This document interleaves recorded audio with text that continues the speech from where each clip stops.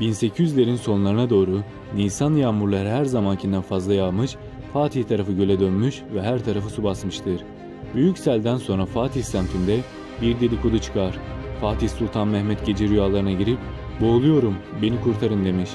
İkinci Abdülhamit dedikodulardan haberdar olmuş. Hemen Fatih ve Aksaray taraflarının itfaiye kumandanı olan Mehmet Paşa'yı çağırır.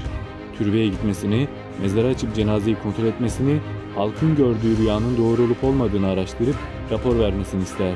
Mehmet Paşa da yalnız yollamaz. Sultan Abdülaziz'in damadı Şerif Paşa da yanına verir. Göndermeden önce de türbede göreceklerini hiçbir yerde söylememeleri için yemin ettirir. Paşalar Fatih Camii'nin yanı başındaki türbeye gider, sandıkayı kaldırıp mezarı kazarlar.